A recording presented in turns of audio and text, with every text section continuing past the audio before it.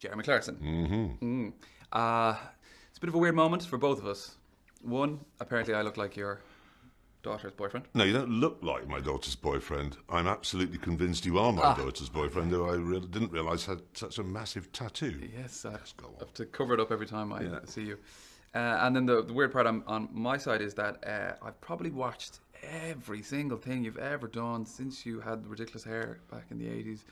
You mean hair? Yeah, Just some hair. thing, yeah. you know, and the war documentaries and the, the inventions that changed the world. And like I'm I'm 30, but I've been watching you probably more than half my life, which makes you. Sad to know. And now it turns out you look exa- and sound exactly the same. See, this is You've a- even got the same. Are You're from Dublin. Yeah. He's from Dublin. This is really, really. Are we ever going to talk about the Grand Tour? Yeah. Probably not. um, you have an obscene amount of vehicles, I would say. Some are, well, some are like really expensive. You've gone through a lot of cars. You need the Ford GT, 500. If you could just pick one, which would you pick? And it can be any of them. Now, mm. that's an interesting one because I have said for 10 years the best car I ever drove was a Lexus LFA, not like any Lexus that your bank manager or your accountant drives. This mm. is a, a completely different animal and it was incredible and it made the most astonishing noise and I always wanted one. But the car I used in Madagascar in the next Grand Tour we're doing, which hasn't even been cut, we just got back. Um, that's now the best car I've ever driven. I'm, I'm not, can't tell you what it was. It is a car, though. It is a car. It's a car, yeah, yeah, no, we're back to cars. Okay, back to cars. It's a complete car. Uh, it was absolutely, I've never known such a heroic vehicle. Yeah. So determined, Okay. strong. Strong. Um, you was. you suggested that they they go to Vietnam and Cambodia in this first episode of the new season. Mm-hmm. Have you ever suggested to do something and they just said, "No, Jeremy, can't do that." No, No. no, I'm much taller than them. no, honestly, if the story's good, both James and Richard are wise and clever enough to go, no, that's, if the story's good. The story has to be good. Um, the problem we have these days, if I may be serious for a moment, is so much of the world is now inaccessible. Yeah. I mean, not that long ago, we landed in Iraq, drove into eastern Turkey, dropped down into Syria, went from Syria into Jordan and into Israel. None of that is now possible. The whole of North Africa, with the exception of um, Morocco's out, the Sinai Peninsula's out, Egypt's out, all everything, right down to the Sudan. We've done everything in the south. South America, Chile, riots everywhere. My favourite, one of my favourite countries on earth is Chile. That's difficult to get into. Argentina, literally nothing to see there. Um, and then you've got all the stars. It's politics is making the world harder and harder and narrowing the areas where we can actually operate. Ireland is always there. Always Ireland, but they the Trump. No, I you can't. went there once. Hammond went there once, I think. To He did and drove an MX-5. MX-5 Yeah. at Mondello. He did.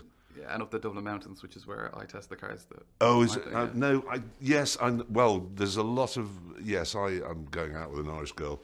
Well, living with an Irish girl. Um, so she's quite keen that we should go back there post Corbyn. No, wait, sorry, I said that out loud.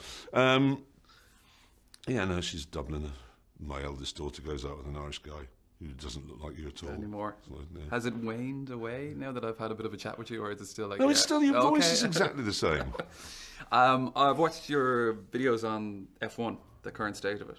Yeah. Did you watch the Brazilian GP? I know exactly. No, not just that one. I mean, that, since I put that thing online about you know they're just it's ridiculous and they all need to have smack bottoms.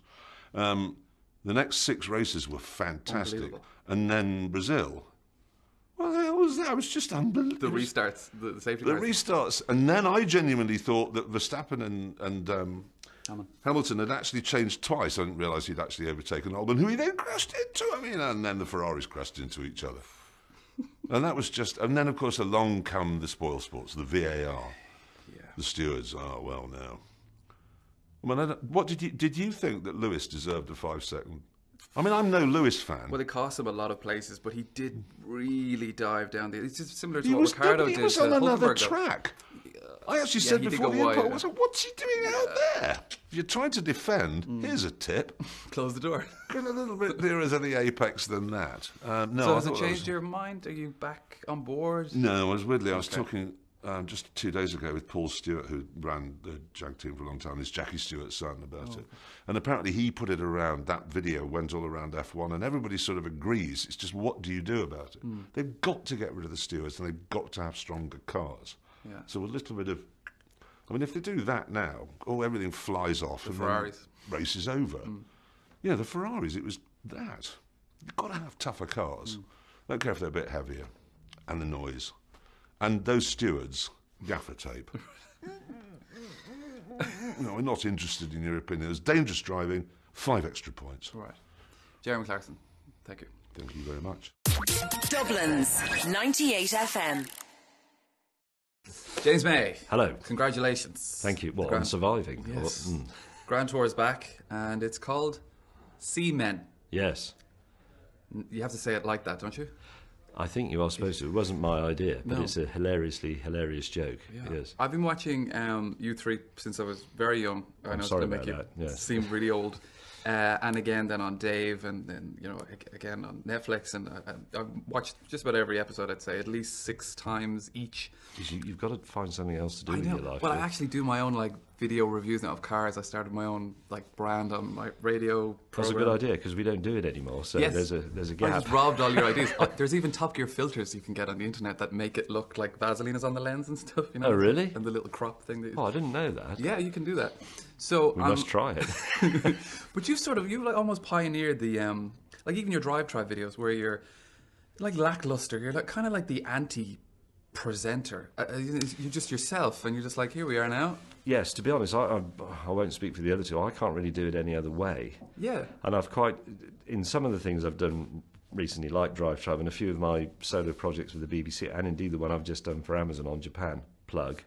Um, a, a part of it is we're sort of doing that at the conceits of television. Yeah. Because some of the ideas in it are now very old fashioned. There's a lot of people in television making it who still believe that that the audience is fooled by the magic of television. So they edit things in a way to say, well, that couldn't have happened, but let's make it look like that. And you must you must cut to this if you're going to do that. Whereas I think everybody everybody makes films now. People make films on their phone. They know what's happening. So let's just show it as it is. Hmm. So I'll sit there and drive a car, or stand there in the kitchen and make cheesy pasta. You can you can watch it, or if you don't like it, you can watch you. Or you know. yes, It's exactly. great. I suppose we're heading for a time ultimately when TV means that each person in the world will make a TV show for one other person Yeah. in the world. Yes, yeah. Um, I with all with all you've done in um, your career with the lads and everything, have you ever uh, like for instance Clarkson's? It was sort of his idea to go back to Vietnam because he was on holidays there, wasn't he? Yes. So is there anything that you have kind of brought up at a round table meeting and everybody just went, James, I don't think so. Oh yeah, all sorts of things. Some of which I can't mention That's probably. the question. You have to. Well, I mean, I came at the BBC. I came up with an idea called the Antiques Bonfire, which is where people bring all their antiques to a town hall. But if your antique is no good, you have to put it on the bonfire because we need to rid the world of a lot of this crap. I came up with a show called Girls on Bikes, which everybody thought was just sexist, which wa- it wasn't. It was Men on motors. yeah, it was, it was actually a program about culture. Uh, I came up with the Pissed Olympics, um, all sorts of stuff like that. But one, one or two of my ideas have gone through. I mean, the original, um, this is back in the Top Gear days when we did the Middle East special Yes. about going to the birthplace of Jesus. That idea was sorted from something I said because I'd been on holiday to Syria. And With Sarah. You got to. Yeah, well, yes. When I went back, I did. Yes, but um, so occasionally I do have a good idea. I have a lot of good ideas that simply aren't recognised because they're too far ahead of their time. Real quick, So tell me about the Japan video that you shamelessly Um, plugged there. Oh, Japan is a, is a country I've always loved, and I said, well, we should do a travel thing, which is not sort of a genre I really do, but I've, I've written about travel in the past. I said we should do Japan. Um, the Olympics is coming up there anyway. The Rugby World Cup was coming up. People are very interested in it. I love it. I'd like to go. I've been lots of times. I'd like to go back and really see if I can understand what Japan is about. It's a very particular place. It has a lot of customs and traditions and, and sort of characteristics very much of its own. And we went all the way from the north to the south, and I still don't understand it. That's the gist That's of it. Well, I can't wait to watch it. James May, thank you so much. Thank you, sir. Dublin's 98 FM. Mr. Richard Hammond. Hello. Thank you for talking to me. Absolute pleasure. I think you have been. Uh, what, yeah, it, it was you. The last time you were in Ireland for Top Gear, you drove the MX5 up the Dublin Mountains. Do you remember? And you raced a Greyhound. Oh, that is a while ago. Yes, you're absolutely right. I did. Yes, This that is my question. is a- Why haven't you been back? I know. I was, we have. We've been there to do our live shows several times in the old days. doesn't count. It's, Belfast. Apart from it does, because we were there. That's right. I Um, saw you. but uh, no, we haven't actually. You're right, and it's a bit of an oversight because it's stuff to do. place to film. It looks really pretty on camera. I've driven where you drove. It's where I test cars for 98 FM, and I'm like following your route. I was like, no wonder they come up here. It's like something out of a movie. Yeah, it is one of those beautiful places. Um, I um, have driven boats all my life. My dad has had a, a boat as long as I can remember. So when I realised what you were about to do, I immediately had anxiety, Yes. especially for you and James. Yes. because the propellers on those type of it's just no go. It turns out you're right. really shallow standing water. Yeah. Propeller, not good. And with the show, because as, as is always the case, actually, um, you know, there's, there'll be a line of voiceover. Hammond got his prop stuck again or something, Mm. and so you probably see me twice jumping out the boat and standing in the water and pulling all the stuff out. But it probably happened 15, 20 times. I spent the whole day jumping in and out of the water. You didn't even put a cage around the propeller, which is what they do sometimes at the Grand Canal in Ireland. They have this little cage Oh, I didn't think of that. Yeah, Damn it. I just watched the whole thing going. What use is that to me now? I you- mean, really? Yeah, I'm sorry. I got ill because of getting in that water, Yes, and you could have saved me from that. So Yeah. technically, it's kind of your fault. yeah, or your producers. Okay, it's their fault. Yeah, I uh, I felt really bad for you towards the end. Your face uh, when you're It's going over this those. is just my face. This is a bit No, rude. it was soaked. It had salt, Salt in all over, yeah, it was horrible. I know Yeah, that it does- does get a bit grim towards the end of that one. We just uh, didn't anticipate the weather getting that bad. And I, the, the other thing for all three of us, because uh, Jeremy claims to be the nautical man. Hmm. Yeah, who parked his boat on the land? Yes, That was him. yeah. Um, so we were all three out of our comfort zone. So I, I didn't know. I don't know what boats do. Yeah. So I was blasting along in that sea, thinking, is it normal for it to be vertical? I don't know. I was like, trim the engine down. I don't know how to trim the engine. You tell me that. Basically, I'd been put in an aer- aeroplane and asked to land it. I, I don't know. Pull this. Yes. Well, I mean, I really enjoyed it. It was nice. To, I love the specials. Obviously, the specials are by far the best thing you guys do because it's just beautiful locations and you're totally out of your comfort zone. And this was really out of your comfort zone. But I will kind of miss the track tests. Will you miss them? Um, I mean, it really was a clear message from the audience that the, the, the specials are the bits they loved. Who knows what will happen in the future, whether somebody else will do 'em. I mean, there are. eh, eh, Look, be honest, it's quite a long time since anybody thought, I'm buying a new car, I'm going to tune into the Grand Tour and see what Clarkson I bought my May Ford. Fiesta ST because of Oh, the it's an track absolutely brilliant car. Is what you got? Yeah. Oh, just totally Mm. love that. I swear, Ford will have finished making that Mm. and then realised, oh my god, it's brilliant because it, it's it's superb. I love that. Yeah, I love that car. You have a series of cars. You've got 4x4s, motorbikes, and you've got a lot. Yeah. Let's say they're all in one room. it's burning down to the ground. Oh god, it's not, is it? It's all burning. I'm, I'm very gullible. You can save one. Uh, 1962 E-Type Roadster, Ah. probably The Jag. because it's beautiful. Yeah, I've had that about ten years, maybe more, but it is a beautiful thing. Okay. Um, you crashed a lot. I that it has happened a couple of times. Yeah, I know it's really, really embarrassing. Is it in your contract? No, it's in my lack of talent. Because it started slowly. It started with you Yeah. like crash. I think you crashed a Porsche Jeep once. You were racing a, a skydiver. Uh, Oh, that, yeah, that was kind of funny. And then it happened again. And then obviously there was the 390 mile an hour blowout. Yeah, yes. Uh, but then there was the electric supercar over the Norwegian. that was a bit poor. that one, I thought I had it. I really was. I think it's because it, it, it, it went off, and if you hear me on the film, I go, "Oh, I've crashed," and then it.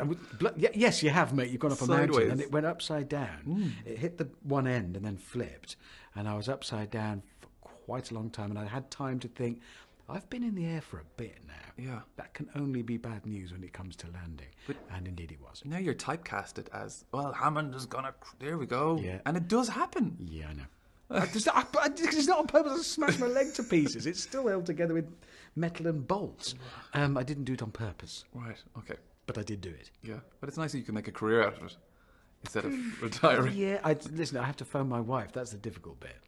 Lying on a. I've been strapped to a spine board with this blazing car to one side and a helicopter landing on the other. And I ran a sort of systems check. Can I remember my name? What am I here doing? What, yeah, right, fine. Give me a phone. I rang my wife, Mindy, darling. Um, you're going to see this on social media. I suspect pretty soon.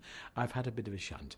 Um, but I've broken a leg and some ribs and things, but nothing that won't mend. Don't worry. Yeah. this is all still good. yeah, oh yeah, exactly. Well, my brain's working as well as it never does. Mr. Richard Hammond, thank you so much for talking to me. Absolute pleasure. Thank you. Hope you enjoy the show. Dublin's 98 FM.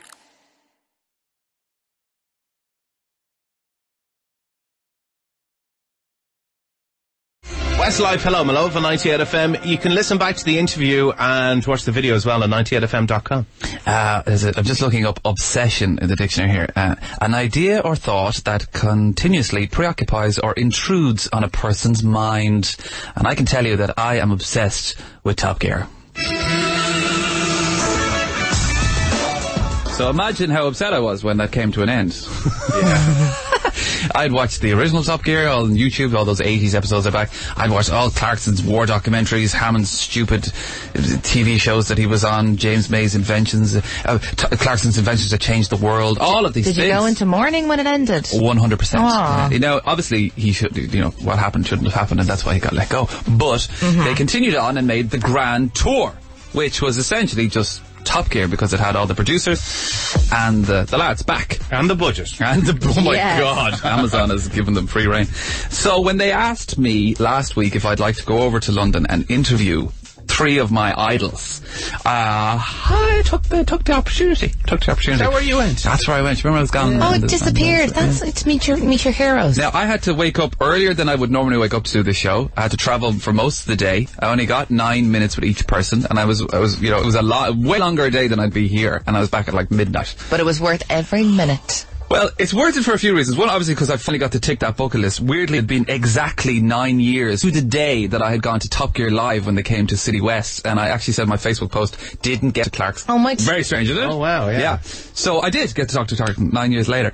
And if you've ever, if you've ever met me or, or Cooper, I'm sure you'll testify, I don't really get, I don't really have any nerves, so to speak. You wouldn't call me a nervous person, would you? No. Yeah, We've interviewed You're many, many full people. of full of OTT confidence. Very confident. My Yeah. mum actually said that you are very sure of yourself. Very sure. Very sure. She's so nice. Yeah. He's cocksure. That's a nice way of saying is but you know, Yeah. overconfident. Well, later on when we uh, get to hear the interview, and you can see it on our Instagram live and our Facebook, I am nervous interviewing Clarkson. I am literally looking everywhere, but I'm like, so how was uh, making uh, the show? It's very strange to I, watch. I think you covered the nerves well. Does it? I think if you know you, you can sense that maybe there's a blind panic behind the eyes. Well, uh, being nervous and uh, it showing is a fine though because it shows that you actually cared about the whole thing. So, so it's not. So don't be ashamed of I'm being not nervous. it. ashamed. I'm just just mad. One of the first things he said to me is, "Oh my god, you look like my daughter's boy- boyfriend." So instantly he hates you. Yeah, exactly. 98 FM's Big Breakfast. You can hear the full interview later on on the show, and you can also watch it live if you really want to on Instagram, uh, TV, and our Facebook.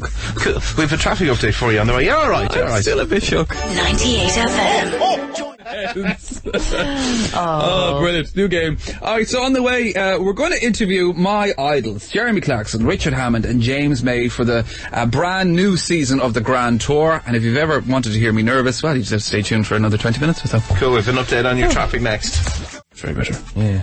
Uh, on the way, um, oh yeah, okay, so, well, a bucket list, I suppose, for me. Uh, finally got to interview my, my idol and, and two of the people that he does a show with, the Grand Tour. That's Jeremy Clarkson, James May, and Richard Hammond. Uh, you ever wanted to hear me nervous? You're about to, just after half. Hi, hey, I really like cars. God. Lizzo Juice on 98 FM. It's half past nine. You're, I'm so embarrassed for myself. Why? Scarlet now a little bit. Why are you Scarlet? So I ain't supposed to be like the presenter and stuff and all confident and everything. And the interview you're about to hear, I'm awfully shy and As I said earlier on, when you said you were nervous, Yeah. it, it shows you care. okay, fine. 98 FM's Dublin Traffic. Is that sore throat strep? Find out with Lloyd's Pharmacy's new screening service. Do you want to tell us who you interview uh, Uh, I'm so scared for myself. Come on. Oh, it's like uh, sorry. Uh, James May, Richard Hammond, and Jeremy Clarkson. Now, I know maybe that might mean a lot to you, but it means the world to me, and you're going to hear that in 60 seconds. Uh, on the Luas, there's currently no red Luas line services operating between Blackhorse and the uh, the point there, both directions, due to technical fault at uh, James's. Uh, tickets are valid on Dublin bus, so have a great time on the bus today. There's a breakdown on the M50 northbound after junction 13 Sandyford. It's blocking the right lane. Traffic is very slow in approach. Further along, a collision has been cleared at Fairhouse and Tallaght, but still big delays. On the M50 heading southbound is busiest from the M1 interchange to junction 6 Blanche. Uh, still slow on the M3 from Clonee to the Blanchardstown interchange, and the M4 eastbound is improved between Maynooth and Celbridge, and the city centre is filling up nicely. Everybody heading in to do Christmas shopping as well. Um, car parks, you've noticed it, Luke? Yeah, ridiculous. Yeah. Drury Street, like lick. Yeah, like they literally had Gardaí on the the entrance for the car parks, telling everybody, "It's like, no, it's full, move on." so uh, if you're coming, just hop on a bus or a Luas, if the Luas is working, obviously, and uh, you won't be late with 98. James May. Hello. Congratulations. Thank you. Well, I'm surviving. Yes. Well, mm, Grand Tour is back, and it's called Seamen. yes. You have to say it like that, don't you? I think you are supposed to. It wasn't my idea, but No. it's a hilariously hilarious joke. It is. I've been watching um, you three since I was very young. and I was sorry about that, yeah. seem really old. Uh, and again, then on Dave, and then you know again on Netflix, and I, I, I've watched just about every episode. I'd say at least six times each.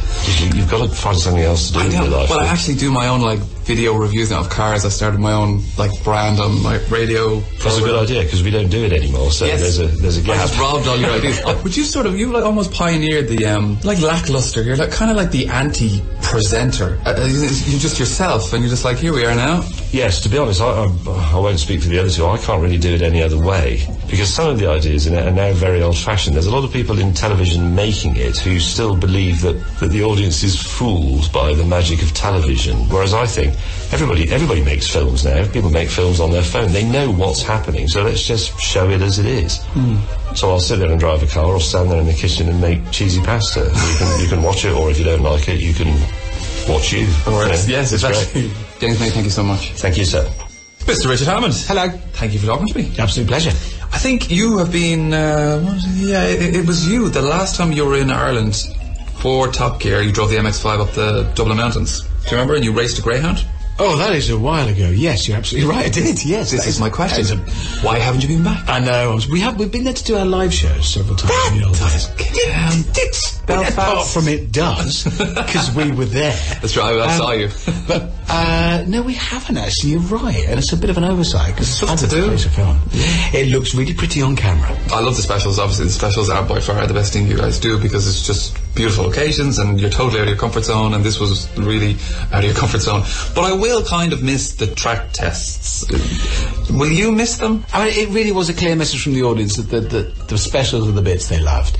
I crashed it. I, that's happened a couple of times. Yeah, I know. It's really, really embarrassing. Is it in your contract? No, it's in my lack of talent. Um, I didn't do it on purpose, Right. Okay. but I did do it. Yeah. But it's nice that you can make a career out of it instead of retiring. Yeah, I, listen, I have to phone my wife. That's the difficult bit. Mr. Richard Hammond, thank you so much for talking to me. Absolute pleasure. Jeremy Clarkson. Mm-hmm. It's a bit of a weird moment for both of us. One, apparently I look like your daughter's boyfriend. No, you don't look like my daughter's boyfriend. I'm absolutely convinced you are my daughter's boyfriend, though I re- didn't realise had such a massive tattoo. Yes, uh, I have to cover it up every time I uh, see you. Uh, and then the, the weird part on, on my side is that uh, I've probably watched every single thing you've ever done since you had ridiculous hair back in the 80s. Santa no. And now it turns out you look exa- and sound exactly the same. See, this is You've a- even got the same. Are you from Dublin? Yeah. He's from Dublin. This is really, really. Are we ever going to talk about the Grand Tour? Yeah. Probably not. you you suggested that they, they go to Vietnam and Cambodia in this first episode of the new season. Mm-hmm. Have you ever suggested to do something and they just said, no? If the story's good, both James and Richard are wise and clever enough to go, no, that's the story's good. Um, the problem we have these days, if I may be serious for a moment, is so much of the world is now inaccessible. Ireland is always there. Always Ireland. But they, the trouble, no. I We can't- went there once. Hammond went there once, I think, to He did the and drove an MX-5. MX-5 at Mondello. He did. Yes, I am going out with an Irish girl. Well, living with an Irish girl. Um, so she's quite keen that we should go back there post-Corbyn. No, wait, sorry, I said that out loud. Yeah, no, she's Dublin. My eldest daughter goes out with an Irish guy. It doesn't look like you at all. anymore. Has it waned away now that I've had a bit of a chat with you, or is it still like? Oh, yeah? it's still your Okay. voice is exactly the same. Jeremy Clarkson, thank you. Thank you very much. Wait, now, when you said that you were nervous and uh, you were uh, excited, obviously, about uh, meeting your heroes, um, you actually did fangirl Yeah. a lot. On all three. Yeah. Oh, I make car videos When you said that, that's like me turning around to like someone saying, "Yeah, I also make music." Oh, I feel so scarlet. Oh, I'm Scarlet. For- no, it was really nice to hear them. it- Their voices as well. It's just like you, immediately you can see them, which is Yeah, and they they were all really nice. I know they all have reputations, especially Clarkson. But he, honestly, one of three of the nicest lads you could ever talk to. The full interviews will be up on uh, IGTV and uh, our Facebook as well. It sounds like you've bonded with uh, Jeremy Clarkson. Does this mean he's coming to your house for Christmas now? I'm going to just date his daughter. 98 FM's Gossip, according to Luke.